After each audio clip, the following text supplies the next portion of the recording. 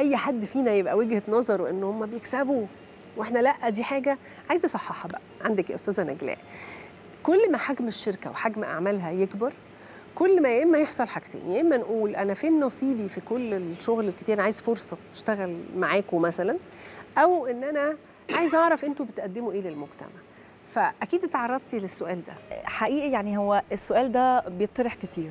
بس اللي عايزة أقوله إن إحنا لما بنشتغل آه، على المستوى المسؤولية المجتمعية في مبادرات آه، أنا آه أنا محتاجة إن أنا أوصل للناس أقول لهم أنا بعمل إيه. آه، بس أنا مش مش طبيعي مش لازم إن أنا أستفيد يكون في فايدة مباشرة. ليا كشركة من هذا العمل اللي أنا بعمله آه، كمسؤولية مجتمعية آه. تجاه المجتمع مم.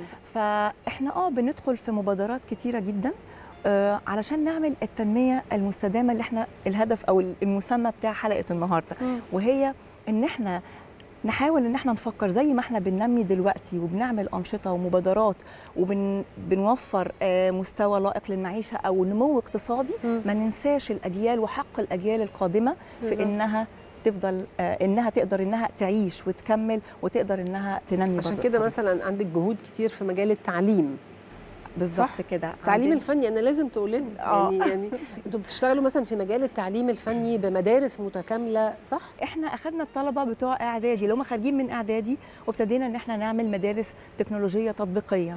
آه، طب ليه علشان actually إحنا دلوقتي كل التوجه إن إحنا بنعمل المدن الذكية آه، بنعمل محتاجين اللي هو انترنت الأشياء محتاجين artificial intelligence هو الذكاء الاصطناعي. فدول كل التخصصات دي. محتاجينها عشان هي دي المدن اللي بتتعمل الجديدة دي دلوقتي كلها العاصمة الإدارية وغيره. محتاجين ال qualified technician ده الفني العالي الجودة.